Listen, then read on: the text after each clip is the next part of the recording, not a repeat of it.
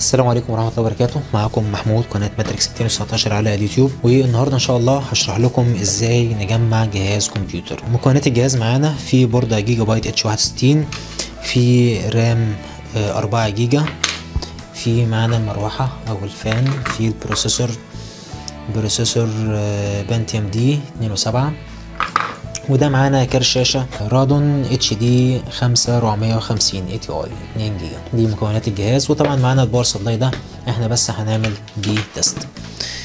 هنبدأ بس الأول إن شاء الله نتعرف على ال motherboard ده المكان بتاع ال socket اللي بتركب فيه ال processor أو المعالج بتاع الكمبيوتر وده مكان تثبيت ال memory أو الرامات وده مكان تركيب كارت الشاشة وفي عندنا اتنين PCI لتركيب الكروت الخارجية.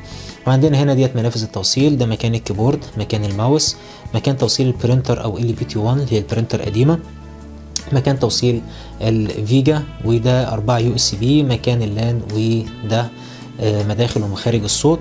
اللي بيكون لونه أخضر ده داخل الصوت اللي لونه أحمر أو برتقاني ده بيكون آه، لداخل المايك وفي اللي لونه أزرق أو لبني بالشكل ده ده بيكون لل line in. هنبدأ أول حاجة إن شاء الله في ال motherboard. طريقة فك ال socket بالشكل ده كده بضغط هنا وبرفع ال socket وبلاحظ معانا ال processor بلاحظ اتجاه ال processor في التثبيت. لو بصينا على ال processor هنلاقي فيه اتنين هنلاقي فيه جزئين كده مكان indicator أو دليل. كده واضحة شوية. هنلاقي على ال processor هنا في مكان فتحتين صغيرين كده. ده مكان تثبيت ال socket بتاع ال processor في القاعده نبص هنا ال socket هنبص برضو على الاتنين indicator دول يكونوا في نفس اتجاه ال processor. يعني هركب ال processor كده بالشكل ده. وطبعا قبل ما أركب ال processor بكون حريص إن مكان ال pinات دي ما ألمسهاش خالص لأن لو في أي pin حصل فيها مشكلة بيكون ال motherboard بالكامل باظت أو بتستدعي صيانة بشكل خاص. وال motherboard عامة جديدة فيعني إيه نكون حريصين في التركيب.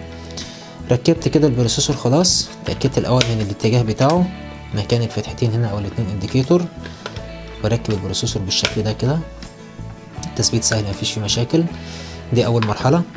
تاني مرحلة نيجي لتركيب ال RAM أو الذاكره هنلاحظ إن ال- الرامة بيكون فيها جزء أطول من جزء. يعني الجزء ده قصير الجزء ده أطول منه.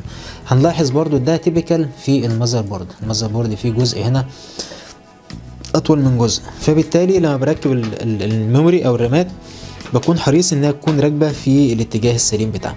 ولو معايا RAM واحدة بس بركبها في ال socket الأولاني. يعني لو لاحظنا هنا هنلاقي مكتوب في عندك DDR 3 1 و DDR 3 2 يبقى طالما إنها رامه واحدة يفضل بركبها في ال DDR 3 1 وبلاحظ الاتجاه بتاع تركيب الرامات ده كده. ده كده okay أنا ركبت الرامه نيجي المرحلة اللي بعد كده وهي المعجون الحراري لل processor. المفروض ال- ال fan أو المروحه بيكون جاي معاها معجون حراري. ما كانش في أكياس معجون حراري بالشكل ده كده. دي بتتباع مع أو بتتباع في مكاتب الكمبيوتر. ألاحظ بس أو أخلي بالي إن بيكون في منها أنواع مغشوشة فأكون حريص إن أنا بجيب النوع الأصلي والنوع الأصلي بنحسه في ال- اللزوجة بتاعه المعجون نفسه. بحط جزء كده على ال processor والجزء التاني على المروحة أو ال fan بالشكل ده.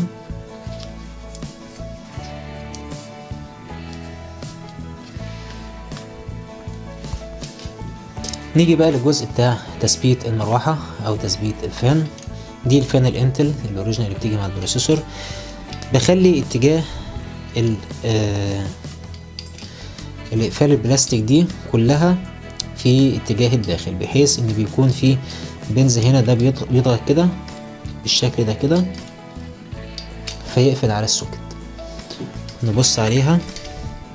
مع بعض وبخلي برضو ملحوظة إن أنا بخلي اتجاه ال- الكابل ده يكون ناحية ال CPU fan يعني هنلاحظ هنا مكتوب CPU fan اللي هو في الجزء ده. نخلي اتجاه الكابل في المنطقة اللي فيها CPU fan أنا كده ركبت الكابل وآجي هنا على تثبيت ال processor. تثبيت ال processor أو المروحة بتاعت ال processor سهلة جدا. مجرد بس إن أنا بضغط هنا كده في الاتجاه ده. وبلاحظ إن أنا أو أخلي بالي ان لما أضغط على القواعد بتاعه المروحة أضغط عليهم يعني القاعده دي ركبتها ركب القاعده الموازية ليها على طول وبعدين دي والموازية ليها على طول. نلاحظ هنا دي كده المروحة اتثبتت تحت okay. بالشكل ده. يبقى أنا كده ركبت المروحة ركبت ال processor ركبت ال memory باقي توصيلات ال power. ده معانا ال power supply إحنا اتعرفنا قبل كده على طريقة توصيله بال motherboard في فيديو قبل كده. ده الجزء الأولاني الخاص بال power وده الجزء الثاني الخاص بال power بتاع ال processor. هزود بس جزء من عندي هنا وإن إحنا هنستعمل tester اللي هو القطعة دي أو الجزء ده. ده بيعمل لي test على ال motherboard كبداية تشغيل. نوصل power لل processor للآسف نوصل power لل power supply ونيجي بعد كده للمرحلة اللي هي خاصة بال test أو الاختبار وهي إننا هنشغل ال motherboard power. أنا هنا بس برضو زودت حاجة وهي السماعة أو ال speaker. يعني دي سماعة خارجية أو speaker خارجي أنا استعملته هنا. لو لاحظنا هنا هنلاقي فيه مكتوب PW موجب وسالب مكان ال pin ين دول. ال pin ين دول لو أنا لمستهم مع بعض دلوقتي ال motherboard هتشتغل. ده بالظبط زيه زي ال power switch ألمس الاتنين مع بعض كده وأشوف النتيجة هتبقى عاملة إيه. ده ال tester بدأ يعد معايا أكواد. وادى صفارة كده ال beep اللي هو إن الجهاز خلاص بدأ يشتغل. نيجي المرحله اللي بعد كده وهي تثبيت ال motherboard في وحدة المعالجة أو في central processing unit أو ال CPU. في البداية هنحتاج نعرف أماكن المسامير اللي محتاجينها. ده كده شكل المذر بورد مكان تركيبها. في عندنا أداة واحد اتنين تلاتة أربعة خمسة ست مسامير. نثبتهم كده ده المسمار الأول.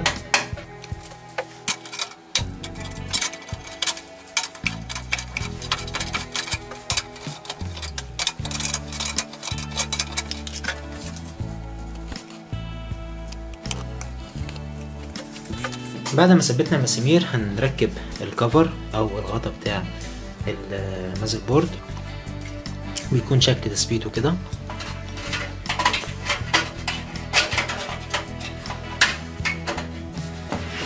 وبعدين نيجي لمرحلة تركيب ال motherboard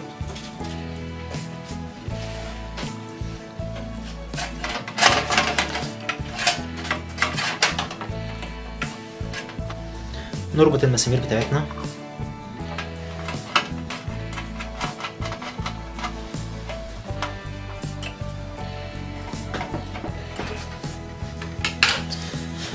بعد ما ثبتنا المسامير يجي دور تركيب كرش الشاشة هنفك الجزء ده كده.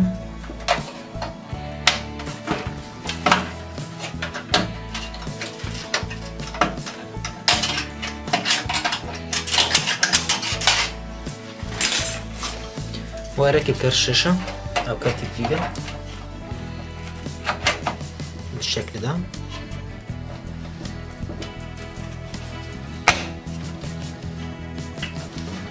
وبيثبت بمسمار في ال cover بتاع الكيسة.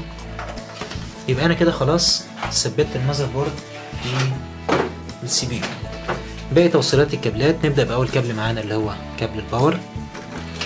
ده زي ما إحنا عرفنا في الفيديو اللي فات دي طريقة التثبيت بتاعته. ونيجي الكابل ال 12 فولت. لو الكابل طويل ممكن بنلفه لفة كده ونثبته عادي. باقي عندنا دي توصيلات ال USB وتوصيلات ال audio دي أماكن توصيلها توصيلها هنا. ده مكان ال USB ده برضو USB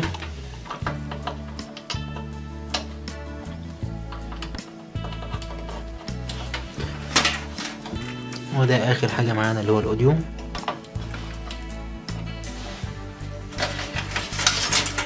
نيجي للجزء المهم وهو توصيل كابلات ال power وال reset هنلاقي كل كابل منهم مكتوب عليه وظيفته. ده HD موجب وسالب وفي ده ال